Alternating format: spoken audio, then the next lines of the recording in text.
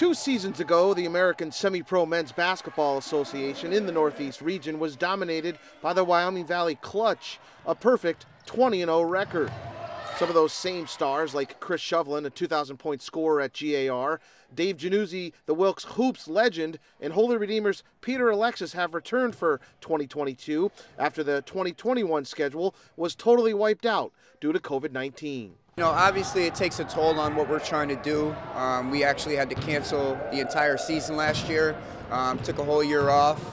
Um, we kind of worked our way back into it this year um, got the guys together. You know, we kind of sat down and with coach and, and Dave and myself and, and, discussed if we were able to even go forward this year with you know the whole pandemic going on. You know, last season we stepped on the court. You know, we finished 20 0, number one in the country, um, out of like 160 teams. So um, it was very tough.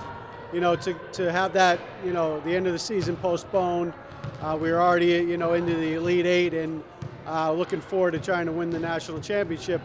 Um, but with COVID hitting, it kind of put us uh, put everything with the professional side on the back burner, put put everybody in general on the back burner.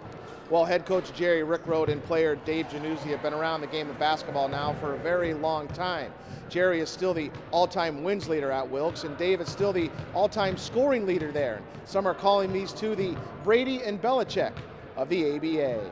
I, I, would not be able to get out on a basketball court and run up and down like they do. But, you know, Dave is, I don't think they'd mind me telling you their age, but Dave at 44 years old, basically, that was his number at Wilkes. Um, he still gets out there and laces it up with the guys between 22 and 29 and does pretty well.